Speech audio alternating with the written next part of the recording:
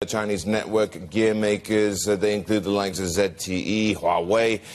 The thing is, they could find it even harder to do business in the US if a proposal by regulators goes through. The FCC wants to ensure money from a subsidies scheme is not used on equipment or services from companies deemed to be a risk. So they're, they're targeting uh, kind of the rural wireless carriers, which is basically where um, most of uh, Huawei's and ZTE's American businesses right now, because it, as, as we know, Congress uh, has voiced a lot of, uh, shall we say, doubt about uh, their operations and their links to the Chinese government. So, I, but I think the bigger story is in the long term. I mean, Huawei and ZTE are in many ways the most international of uh, China's Chi uh, Chinese corporations. I mean, along with Lenovo, uh, people in Europe and Africa and across Asia use every day. And I think uh, uh Americans are starting to wake up to that fact.